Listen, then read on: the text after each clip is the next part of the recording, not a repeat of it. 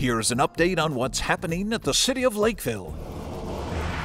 Hi, Mark Cruzy, City of Lakeville Park Superintendent, and today we're at the McGuire Hockey Rink site. The McGuire Warming House construction project is nearing completion. The structure has been completed, including rough-in electrical, and the furnace has been installed. Staff is currently working on painting the interior of the building and getting it ready for use this fall. Once electricity has been supplied to the building, we plan to open it shortly after Christmas for the new hockey rink season. If you have any questions regarding the McGuire Hockey Rink, Warming House, or anything else in the Parks Department, please contact the Parks and Recreation Office at 952 985 4600. There were several actions of interest at the Monday, December 6th City Council meeting.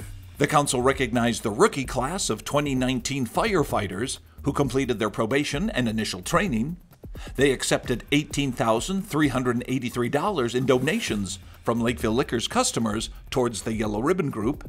They approved a contract to begin design services for the outdoor ice sheet at Hasse Arena, as approved with the Park Bond referendum. And the Council held a public hearing and approved the 2022 tax levy, budget, and fee schedule. The next scheduled City Council meeting will be on Monday, December 20th at 6:30 p.m. Do you have mattresses in your home that can be recycled? Then be a part of this mattress recycling opportunity that runs December 13th through the 17th. You can get free curbside pickup if you donate your usable mattresses and box springs to Bridging, a nonprofit that provides furniture and other items to households seeking housing stability. Call Certified Recycling at 952 894 1448 to schedule a pickup. This service is available for the first 50 items in Lakeville. For more information, go to bridging.org. Hi, Joe Massey Archin with the Lakeville Area Arts Center, here with a quick update on some of our upcoming events this weekend. Join us for the Holiday Classic, an old-fashioned Christmas carol, on December 11th at 2 p.m. and 7.30 p.m. as the Lakeville Area Community Band rings in the holiday season. Two seating options are available, table seating on the floor, which includes complimentary Christmas cookies or balcony seating. Cash bar is also available. We are also excited for the return of the Holiday Art Sale, running Friday, December 10th and Saturday, December 11th from 9 a.m. to 4 p.m. daily and during scheduled theater events.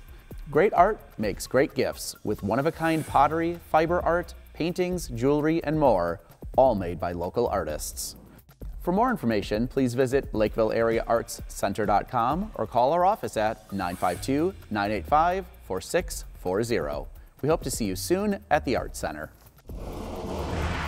The Lakeville Police Department will once again be collecting donations of toys to give to the Toys for Tots campaign. If you would like to donate a new unwrapped toy to this year's toy drive, you will find collection boxes at Lakeville City Hall, Fire Station Number 4, Lakeville Police Department, and Central Maintenance Facility. Donations will be collected through noon on Tuesday, December 14th. If you would like more information about these or other city related items, please visit the city's website at lakevillemn.gov or call 952 985 4400. That's it for now. Thanks for watching. And now you're caught up in what's happening here at the City of Lakeville.